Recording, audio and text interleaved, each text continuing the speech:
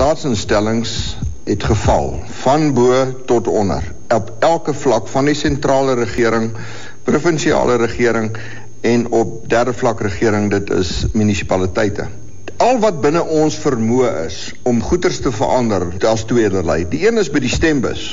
Maar nou weet ons dit is nie ons gaan nie daar vandag verandering sien nie. Die tweede ding is wat kan ons self doen? En hier is die geluk dat ons op plaaslike vlak dinge kan verander. Nou weer hier's twee maniere. Die een is as daar slaggate in in die strate is, weet ons daar's nou 'n nuwe ding wat ontstaan waar waar die gemeenskap ingryp en daai ding self regmaak. Nou nou natuurlik is dit 'n goeie ding. Dit is goed dat ons ons sypaadjie sny want jy weet tegnies is hoef jy nie so sypaadjie te sny nie, maar ons weet ons doen dit almal, ons maak die plek mooi. Ons doen maar goeders wat eintlik nie ons werk is nie. Ons sny laat die gras sny in die openbare areas waar dit nie gedoen word nie. En dis goed so dat 'n gemeenskap met 'n wat 'n slaggat in die pad het self inspring en daai ding regmaak. Dis reg. Maar dit is eintlik nie ons werk nie. Want ons betaal belasting aan die munisipale owerhede en hulle moet daai goed doen. Maar terwyl ons die een ding moet ons die ander nie nalat nie. En wat ons vanmôre oor praat is die ander ding wat ons nie moet nalat nie. En dit is waar ons die munisipaliteit so ver moet kry om die werk te doen wat hulle moet doen. Nou hierdie is 'n is 'n gekompliseerde proses en wat maak dit gekompliseerd? Hierdie is nie meganiese proses nie. Ons werk nie met robotte nie. Dis nie die druk van knoppies nie. Dit is mense wat die munisipaliteite bestuur en die groot uitdaging en die enigste lewensvatbare uitdaging op die langtermyn is om alle gemeenskappe in te trek in die volhoubare instandhouding van 'n dorp. Nou ons weet nou hier is sekere groepering. Hulle doen goed vir hulle self. Maar die beste wat ons kan doen, ons wil nie 'n dorp hê wat in die een kant skitter en aan die ander kant doodgaan nie. Want dit is nie lewensvatbaar nie. Hierdie goeters op 'n langtermyn bring geskille, dit bring verskille en dit bring bring afguns en allerlei goed wat daarmee gepaard gaan. Ons moet almal saamvat op hierdie pad waar ons 'n dorp meer suksesvol maak en hierdie is die komplekse proses. Weet ek het op 'n dorp groot geword in die Vrystaat en ek het nog belange daar so ek het, ek het belange in die platteland op meer as een plek en ek sien wat daar aangaan. Maar in my dorp waar ek groot geword het en ek was daar in 'n koshuis gewees, die boere se kinders het altyd koshuis toe gegaan. Ek het nie in my skoolloopbaan een keer in die woonbuurte van ander mense gekom nie. Ek het net in my dorp gebly. Dit is die probleem. Ons ons het nie oor die spruit gegaan en uitgereik nie. En dit is die ding wat ons moet doen, maar dit is nie maklik nie. Die uitreik na ander ouens toe om gesprek oop te maak, om te sê kom ons doen hierdie ding saam want as 'n ge gemeenskap die hele gemeenskap, raadslede en munisipale amptenare begin aanspreeklik hou en tot verantwoording roep gaan daar stelselmatig verandering intree.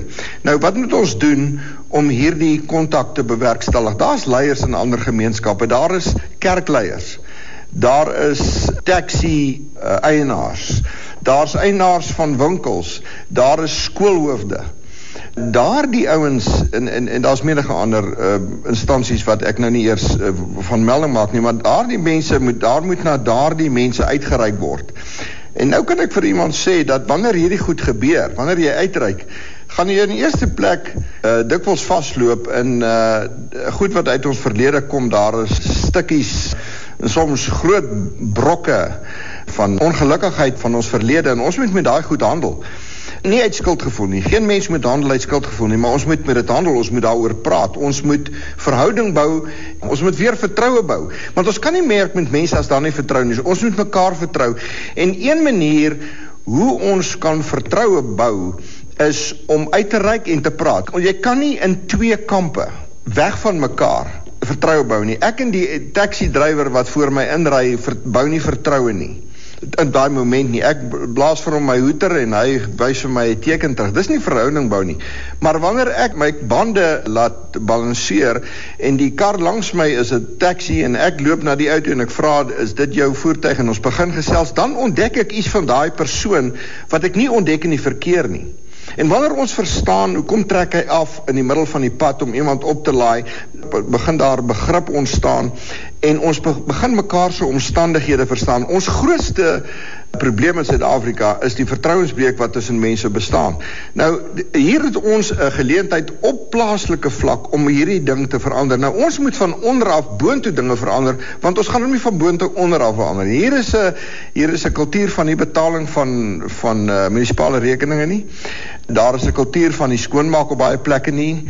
Uh daai goed moet verander word maar ons moet die vertrou bou. Dit is die grootste struikelblok wat daar is. Maar dit is as jy nie daai ding oorkom nie en dit kan oorkom word, dan begin 'n proses. Maar as jy daai ding doen nie, is al die ander tegniese goed wat daarna opvolg eintlik baie moeilik. Dat natuurlik dis makliker as jy net wil sê ek wil net my deel van die dorp reg kry, dan kan jy dit doen.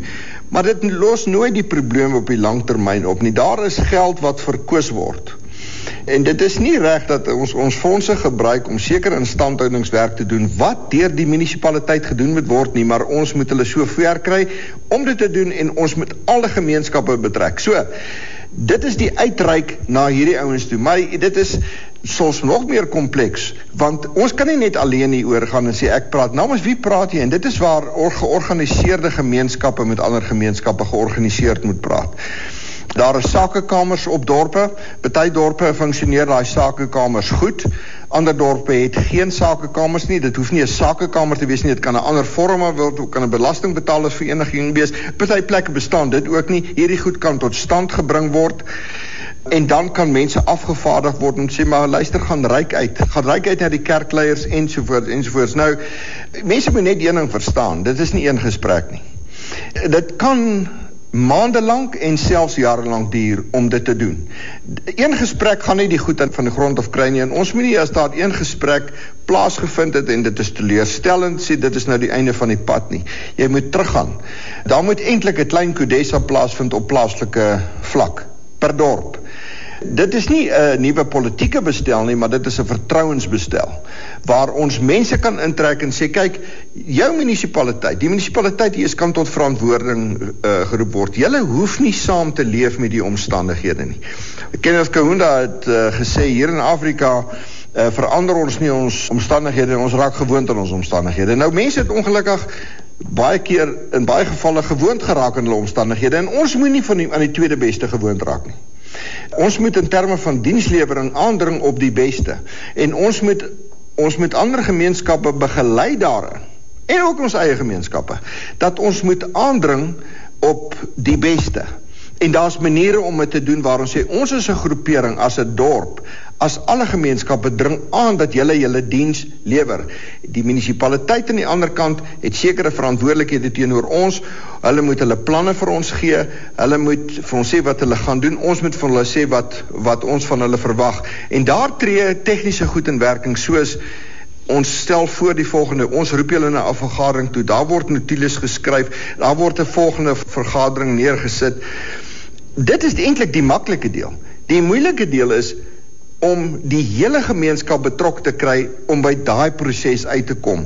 Sodat die heel eerste die wegspringplek lê op 'n verhoudingsvlak waar ons ander mense saam met ons vat in 'n proses waar ons die gesag oor ons die munisipaliteit en die munisipale amptenare aan wie ons ons belasting betaal sover kry om die diens aan ons te lewer wat hulle moet lewer.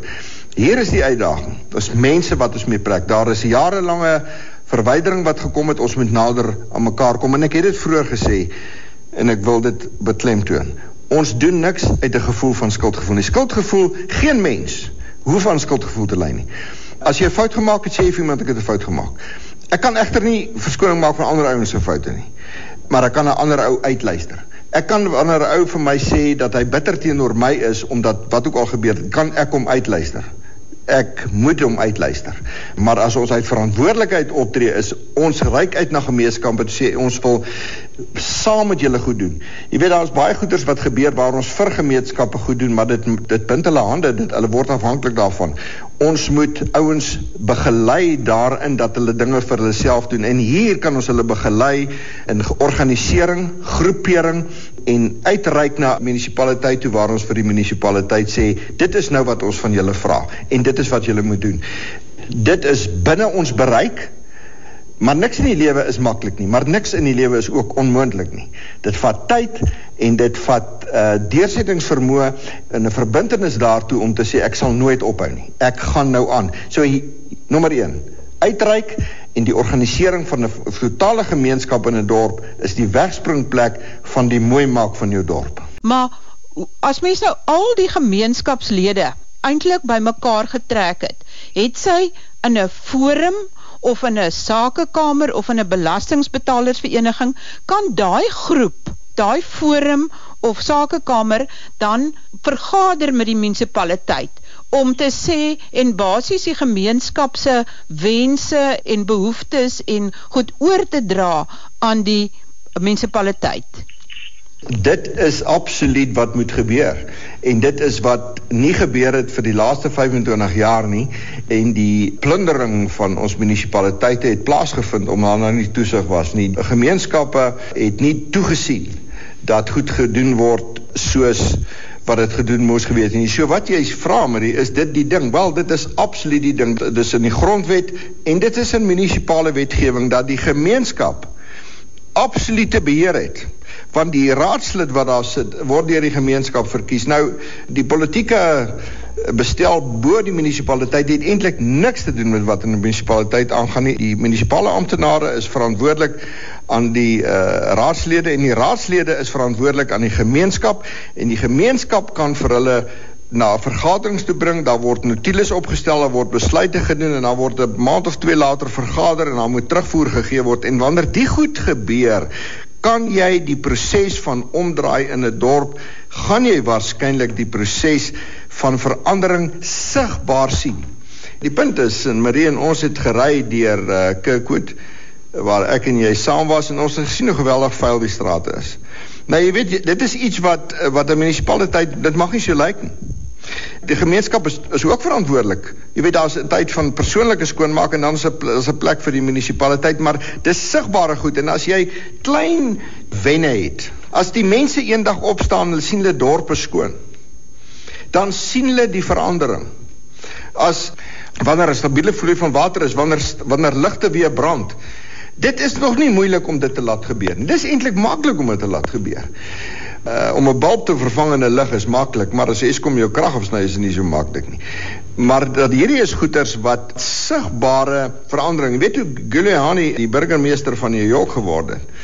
Het hy gesê wat is verandering het moet ons doen en hy het onmiddellik begin met die sigbare goeders en en hy het begin met die wat bekend staan as die uh, broken window policy en hy daai idee na in by ander ouens se geskrifte gekry wat gesê het herstel net die vensters. Nou hier is 'n belangrike ding.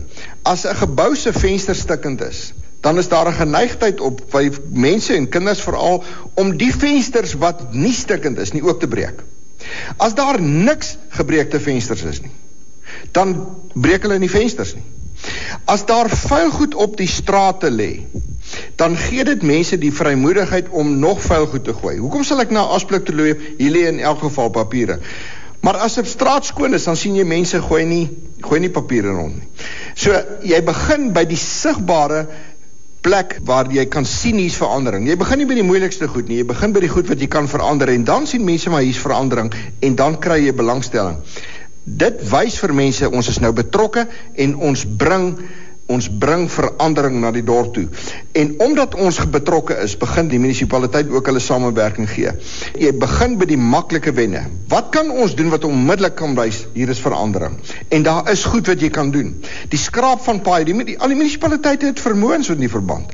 Dis eintlik baie maklik om 'n plek basies te laat netjies lyk. Slordigheid het te doen met klein goedjies wat net nie na gekyk word nie. Nou nou die oomblik as jy dit reg kry, dan begin jy groter goeders aanpak. Maar mense wil verandering sien. Ouens kom bymekaar en hulle ontmoet elke maand en ouens na 'n jaar sê hulle maar ons praat nou elke keer, maar ons het nog niks gedoen nie. Jy moet van on, van onmiddellik moet jy moet jy goeders begin doen self en jy moet eise stel aan die munisipaliteit en hulle moet daaraan uitvoering gee. So die munisipale wetgewing en die grondwet sê die gemeenskap moet en die munisipaliteit is in die gemeenskap verantwoordelik. En dit is waarop alles gemik is. Hierdie organisering van die gemeenskap is gemik daarop dat jy op 'n dag met ander ouens om die tafel sit en sê hier is wat ons wil hê. Dit is binne inderdaad binne ons bereik met 'n bietjie moeite, baie moeite, maar dit is haalbaar. Maar sê maar nou, jy probeer met die munisipaliteit praat, maar die munisipaliteit antwoord nie hulle fone nie en hulle wil nie na jou vergaderings toe kom nie en hulle jy kom net voor toe deure. Hoe maak jy dan? Weet jy jy wil probeer om litigasie te vermy en jy wil in gesprek tree. Maar hoe maak jy dan? Ek dink dit hierdie uh, voorbeeld wat jy uh, nou noem is uh, waarskynlik die scenario wat gaan afspeel in elke geval as oproep in die werk nie gaan dit gepaard met 'n uh, skriftelike brief wat jy rig aan munisipale bestuurder en jy sê vir hom ons moet 'n gesprek hê en jy sê vir hom in gevolge watter wetgewing hierdie gesprek gaan plaasvind. En as hy nie daarop reageer nie, dan kan die mens hoër gesag op, op die provinsie nader en self na die minister toe. Nou ons weet dat daar verwikkelinge is uh, waar ministers sekere sektore in die plaaslike owerhede aan sekere ministers toegeken gaan word en ek wil nou nie al my hoop aan, aan rondom dit sê nie want jy weet dit klink nou asof dit die oplossing gaan wees en dit is waarskynlik nie die oplossing nie. Jy gaan nie na hof toe as eerste opsie nie. 'n Hof help jou wanneer jy dit 'n laaste opsie is. My gas vandag was Gerard Papenfoes. Hy is uitvoerende hoof van JASA en indien enige iemand hulp nodig het of raad nodig het oor hoe om munisipaliteite te benader of hoe om gemeenskappe bymekaar te trek, kontak hom gerus by info@niasa.co.za. info@neasa.co.za